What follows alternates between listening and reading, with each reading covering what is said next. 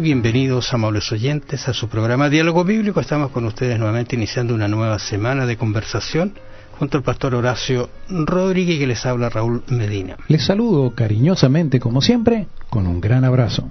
Hemos venido conversando o abriendo, ¿no es cierto?, la, la Biblia aquí en este libro de Proverbios. En esta semana vamos a ver un poquito, porque la verdad de las cosas es que está lleno de dichos, de proverbios, de instrucción. Capítulo 10, capítulo 11, 12 y parte también del capítulo 13. Si usted quiere, eh, vaya y lea un poquito allí en Primera de Reyes capítulo 4. La última parte puntualmente de ese capítulo dice compuso tres mil proverbios y sus cantares fueron mil cinco, dice él. O sea, eh, de alguna manera algunas cosas de estas se han perdido, pero han llegado a nosotros algunos de estos grandes proverbios. Incluso dice que este sabio disertó sobre los árboles, sobre el cedro del Líbano, una serie de detalles que indican que él también participó en escribir el cantar de los cantares, porque aparece por lo menos allí una descripción. Tres mil proverbios, ¿qué te parece? Interesante, ¿no? Cómo él hizo alusión, habló, y nuestro objetivo esta semana en realidad es que logremos comprender el contraste entre los buenos resultados de las buenas elecciones y los malos resultados de las malas elecciones. Partamos allí por el capítulo 10, versículos del 1 en adelante. ¿Quién nos dice el sabio para que lo analicemos? A ver, la justicia es integridad, o es integral, digamos, de otra manera. El hijo sabio alegra al padre, pero el hijo necio es tristeza de su madre. Los tesoros de maldad no serán de provecho, mas la justicia libra de muerte. Jehová no dejará padecer hambre al justo, mas la iniquidad lanzará a los impíos. La mano negligente empobrece, mas la mano de los diligentes enriquece. Está tocando diversos temas. ¿eh? Aquí en realidad comienza con diferentes temas, pero fíjate que está haciendo siempre una, una, alusión a estos dos caminos que el ser humano debe seguir. ¿eh? Esto del sabio y del insensato. Eh, del que anda por el camino recto y el que lo anda en un camino equivocado. Siempre han habido dos caminos. La verdad es que el enemigo ha hecho caminos paralelos o caminos casi iguales. Entonces, hay personas que creen, pero si, si no tengo ningún problema, no le hago mal a nadie, en fin, pero resulta que están yendo por un camino casi, casi igual al que el Señor trazó, pero no es el camino que el Señor trazó por muy casi igual que sea. Si es el casi, ya no es. Entonces, ahí es donde está el problema. Eh, aquí habla justamente de, eh, la mano negligente y la diligente. Eh, aquel, que, aquel que no trabaja, y recuerdo las palabras de, de Pablo cuando dijo, el que no trabaja, que no coma. es bastante, bastante drástico, pero tenemos que ponernos en la situación que estaban viviendo en ese momento también.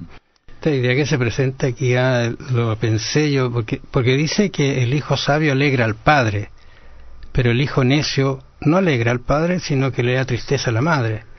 Y eso es cierto, ¿ah? porque normalmente las madres son más sensibles a la actitud o a la conducta de los hijos. Quizás el padre es un poquito más más serio en este sentido, ¿no es cierto? O quizás lo demuestra menos, pero la tristeza de la madre es profunda cuando un hijo se descarría en realidad. Y creo que creo que ahí la tristeza de la madre se debe también a que las madres tienen generalmente la responsabilidad de guiar a los hijos más que el padre. No digo que el padre no, no tenga esa responsabilidad, pero la responsabilidad o, la, o el actuar del padre eh, es más limitado que el de la madre porque siempre la madre ha estado más cerca de los hijos, se preocupa eh, en todo sentido, en todo sentido. Entonces, eh, por eso creo que la madre debe sentirse media frustrada ahí cuando, cuando tiene un hijo necio, dice.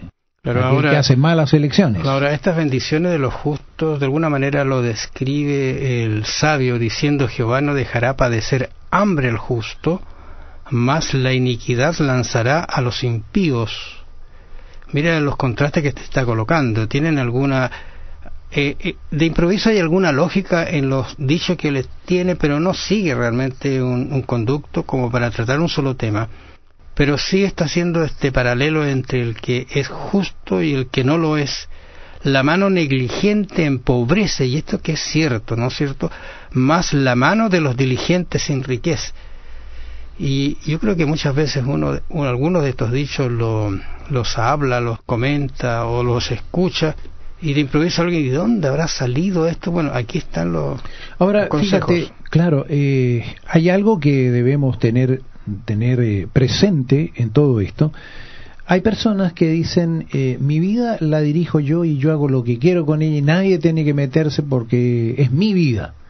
Pero no debe olvidar que lo que haga o deje de hacer siempre va a afectar al círculo más cercano y, generalmente afecta con en mayor grado a, los seres amados. A los más cercanos. Justamente, así que eh, la Biblia dice, nadie vive para sí, nadie muere para sí. No vivimos eh, solitarios, siempre tenemos una relación con alguien y nuestras decisiones van a afectar especialmente a quienes amamos. Bueno, en la guía de estudio que nosotros tenemos hay un ejemplo bien interesante que me pareció quizás bueno traerlo al, a la conversación. una persona, dice un hombre en un bote, comenzó a hacer un agujero eh, donde tenía sus pies. No sé si, si tú te has subido a un bote, un bote no es de mucha seguridad. Muchas oportunidades, acuérdate que yo soy del puerto. Bueno, mm, nosotros lo hemos hecho y hemos tenido algunos incidentes medios complicados porque estos botes traen a algunos que trasladan pasajeros, eh, traen un, motorcito y mientras andábamos afuera, digamos, visitando, qué sé yo, se echó a perder el motorcito. Y entonces vino otro. Y el traslado de un bote a otro fue ah, realmente una, una odisea. Pero lo que está haciendo este hombre dice, hace un agujero en, en, sus pies y la gente entonces va y le exige que detenga, detenga lo que está haciendo. Y él dice, a ustedes no les importa nada, este bote es mío. Y parece la respuesta lógicamente absurda porque no está solamente afectándolo a él, sino también al resto de los pasajeros, o a los que están en ese bote, y así es la vida. A veces afecta a nuestra familia más cercana, a nuestros hijos, y, creemos que no hacemos nada, y normalmente iniciamos la, la respuesta a estas situaciones culpando a otras personas. Por eso que me parece tan oportuno que dice, el que recoge en el verano es hombre entendido. El que duerme en el tiempo de la siega es hijo que avergüenza. Y está haciendo estos contrastes. Y el 6 dice, termina diciendo, hay bendiciones sobre la cabeza del justo, más violencia cubrirá la boca de los impíos. Y fíjate el, verso 7, porque el verso 6 y 7 están muy bien eh, unidos. La memoria del justo será bendita, mas el nombre de los impíos se pudrirá, dice. Bastante drástico. Bueno, este principio de unidad de la vida espiritual, moral, con la vida física, material, eh, es, es claro aquí no podemos hacer división. Y en estos versículos 6 y 7 vemos una expresión anterior de lo que Jesús dijo acerca de que la lujuria es adulterio. Recuerda, quien mira a una mujer para codiciarla, ya adulteró. Ya adulteró. Entonces, eh, esto, el Señor habló de esto y, tenemos que decir que la lujuria es adulterio, aunque no llegue el... Y también que el odio equivale al homicidio. Bueno, amables oyentes, les agradecemos por la atención en este día. Los invitamos para mañana a una nueva audición de su programa Diálogo Bíblico. Bendiciones. ¿Qué decisión importante tomará pronto?